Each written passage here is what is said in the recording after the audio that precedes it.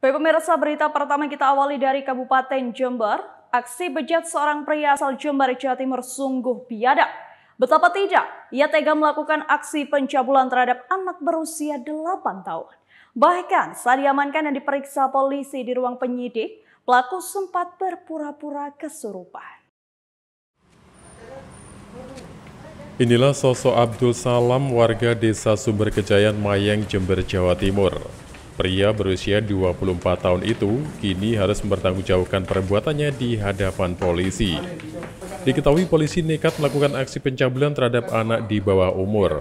Bahkan parahnya lagi, saat ditangkap polisi, pelaku pun pura-pura kerasukan di ruang penyidikan. Diketahui aksi bejat pelaku dilakukan saat korban sedang buang air kecil di sungai dekat rumahnya. Entah apa yang merasuki pikiran pelaku, sehingga tanpa pikir panjang ia pun menghampiri korban dengan alih-alih membujuk korban membantu cebol.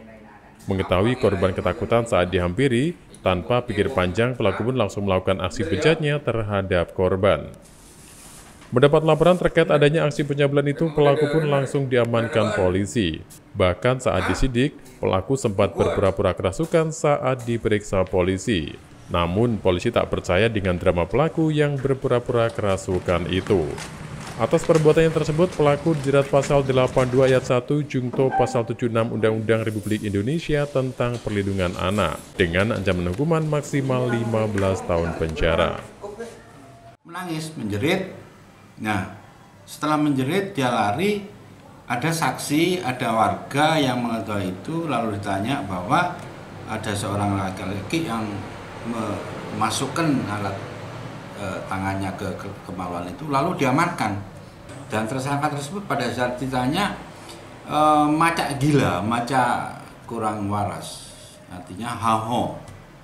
Namun polisi tidak mudah itu melepas itu. Setelah didalami setelah ditanya, setelah diinterogasi, baru dia memang mengakui melakukan perbuatan tersebut terhadap kecil tersebut. Dari Jember, Jawa Timur, Bisa Nugroho, Nasional TV melaporkan.